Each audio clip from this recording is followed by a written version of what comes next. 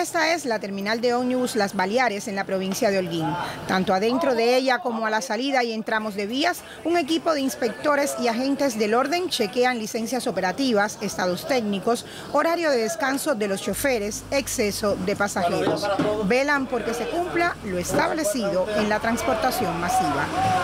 Antes se daba como una indisciplina, los carros salían mucho antes de las 5 de la mañana, salían en horas de la madrugada, los choferes a veces pasaban la noche sin dormir y eh, en aras de, agenciar su pasaje por la cantidad de vehículos que hay, entonces eh, por coger un turno delante no dormían. Ahora nosotros, una de las medidas que tenemos es que los carros antes de las 5 de la mañana no pueden salir a prestar servicio y velar porque los choferes cumplan con todos los requisitos establecidos, como decía anteriormente. Holguín, como todo el país, tiene un parque vehicular envejecido. De ahí la importancia de velar por la seguridad del transporte y los pasajeros.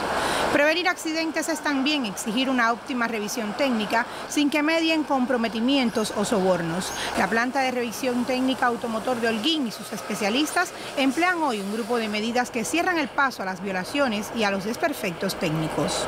Hoy la inspección técnica la tiene que hacer una comisión y la inspección técnica tiene que quedar grabada, tiene que quedar evidencia total. Cuando se termina esa inspección técnica tiene que ser validada por el jefe de la línea o el jefe de equipo en este caso. Y si está el jefe de la planta, tiene que ser validada por el jefe de la planta también. Esto garantiza de que haya menos errores, de que haya menos margen a la equivocación. Si no está apto el carro, no te pasan, ¿entiendes? Y nos exigen condiciones, que hay que tener las condiciones, si no tienes las condiciones no puedes pasar. En esta provincia el 46% de los autos no aprueban cada mes esta inspección. Por otra parte, muchas empresas estatales y choferes particulares explotan el transporte a ciegas, no aprovechan servicios que sirven de alarma para detectar desperfectos. Hoy la entidad estatal no usa el diagnóstico, tampoco lo usa el particular y se ve reflejado en la estadística.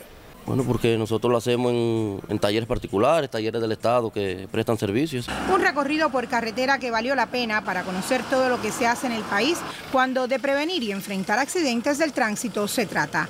Manuel Alejandro Reyes y Maray Suárez, Sistema Informativo de la Televisión Cubana.